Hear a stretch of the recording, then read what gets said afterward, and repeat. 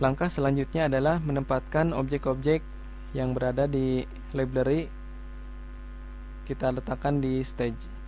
Objek pertama yang akan kita letakkan adalah objek tubuh manusia. Kita cari di library klik dan lakukan drag objek ke stage seperti ini.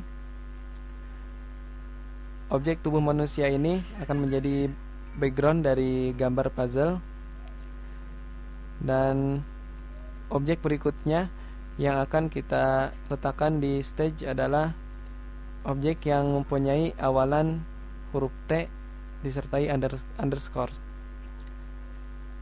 Seperti ini. Ada tempedu sampai T usus halus.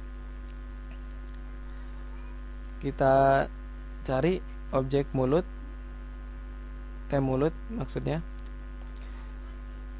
klik dan lakukan drag. Seperti ini.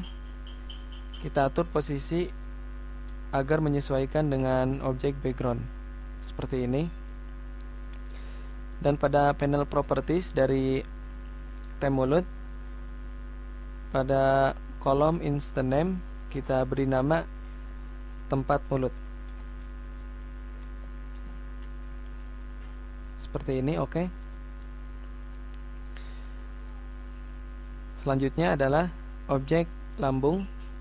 Kita cari di library, klik dan drag objek lambung seperti ini.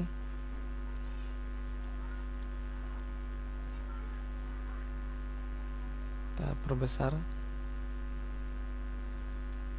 seperti ini. Dan pada panel properties dari objek T lambung pada kolom instant name kita beri nama tempat lambung.